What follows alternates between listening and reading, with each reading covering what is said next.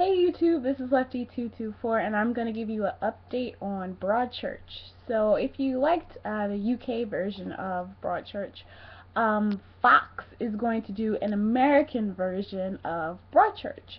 Um, and it's going to start, I believe, in 2014. Um, early 2014 and it's also going to still have David Tennant in it. He's just going to have an American accent. It's going to be in, in an American town. Um, and it should be basically the same story. So if you really liked um, the UK version of Broadchurch and just want to see it Americanized, you can because they're going to make it. Um, so I, that was pretty interesting. Uh, there will still be a Broadchurch um, on BBC.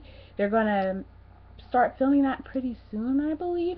Um, it has been renewed by BBC, so there will be something um, in the UK with uh, with Broadchurch, but I don't know if um, David Tennant is going to start in that as well.